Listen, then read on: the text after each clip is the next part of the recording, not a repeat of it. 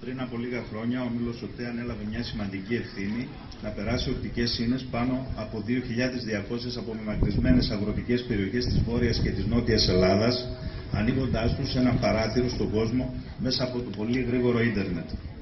Από τις περιοχές αυτές, οι 810 βρίσκονται σε 19 νομούς της Βόρειας Ελλάδας. Έχουμε ήδη ολοκληρώσει το κατασκευαστικό κομμάτι του έργου και μάλιστα νωρίτερα από το χρονοδιάγραμμα, χάρη στην τεχνογνωσία και την ικανότητα του ομίλου να φέρει σε πέρας μεγάλα έργα. Σύντομα και οι 810 αγροτικές περιοχές Βόρειας Ελλάδας θα αποκτήσουν πρόσβαση σε πολύ γρήγορο ίντερνετ, κάτι που θα διευκολύνει σημαντικά την καθημερινότητα των πολιτών και των τοπικών επιχειρήσεων. Ήδη πολλοί οικισμοί απολαμβάνουν τις υπηρεσίες αυτές.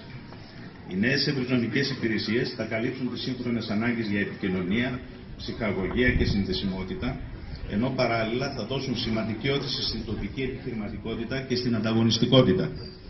Είμαστε περήφανοι που υλοποιούμε ένα τόσο σημαντικό έργο για τη χώρα μας, γιατί συμβάλλουμε ώστε όλοι οι Έλληνες να έχουν πρόσβαση σε ποιοτικό και γρήγορο ίντερνετ χωρίς αποκλεισμούς, κάνοντας πραγματικότητα το όραμα του ομίλου ΤΕ να κάνει τον κόσμο καλύτερο με την τεχνολογία. Σας ευχαριστώ.